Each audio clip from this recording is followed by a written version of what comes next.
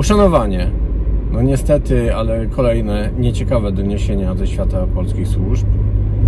Nie po raz pierwszy niestety, ale bezpieczeństwo prezydenta Najjaśniejszej znowu zostało wystawione na pewnego rodzaju szwank.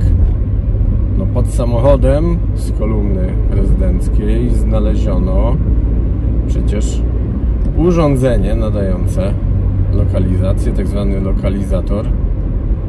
Miało ono jeździć kilka miesięcy tak naprawdę pod tym samochodem. No i pojawia się pytanie.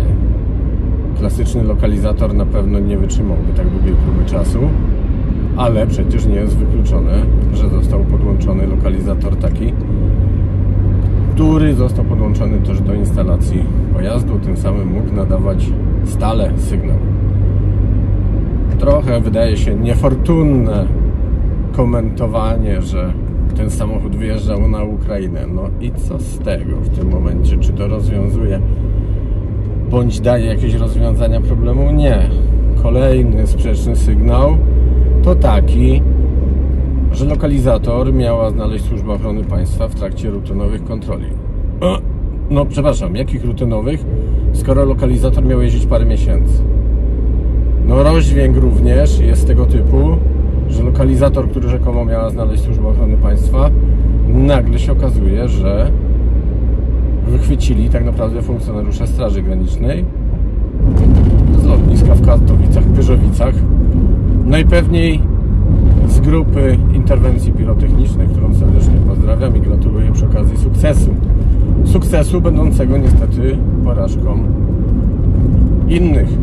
I teraz zastanówmy się, czy pojazd jeżdżący w kolumnie prezydenckiej, do którego podpięto tylko lokalizator, no jest pojazdem bezpiecznym. Tłumaczenie, że tym pojazdem nie poruszał się prezydent, no nieszczególnie mnie uspokaja, powiem szczerze. Nie wiem jak Was. Pokazywany był bus tak naprawdę, który, który mieli się poruszać e, oficjele. No, nie pierwszej może też młodości, ale mimo wszystko, skoro ten pojazd z prezydenckiej jeździł, no to wypadałoby, żeby był odpowiednio sprawdzany i żeby takie urządzenia nie były podpinane. Bo świadczy to niestety o tym, ale tylko i wyłącznie o tym, że ten pojazd był, brzydko mówiąc, spuszczony z oczu i ktoś do niego miał dostęp. Jeżeli był pilnowany, a jednak ktoś do niego doszedł jak się też gdzieś ktoś tłumaczył, a być może ktoś z otoczenia to zainstalował, no to wniosek jest jeszcze bardziej smutny, ale wyciągnijcie go tak naprawdę sami. Jak się okazuje, nie pierwszy epizod z bezpieczeństwem, a raczej zagrożeniem zdrowia i życia prezydenta ma miejsce. Nie chcę wyciągać żadnych wniosków, tak naprawdę. Nie chcę też mówić, że każdy ma prawo do błędów, no bo teoretycznie ma, ale wnioski powinny zostać wyciągnięte. Pamiętajmy, chodzi o zdrowie i życie prezydenta i kompletnie, kompletnie nie ma znaczenia, czy to jest prezydent, któremu kibicujemy, czy nie. To jest prezydent Rzeczpospolitej Polskiej.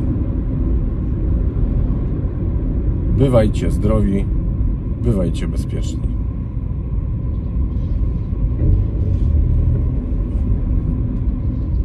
Kieruj się w stronę podcastu na celowniku.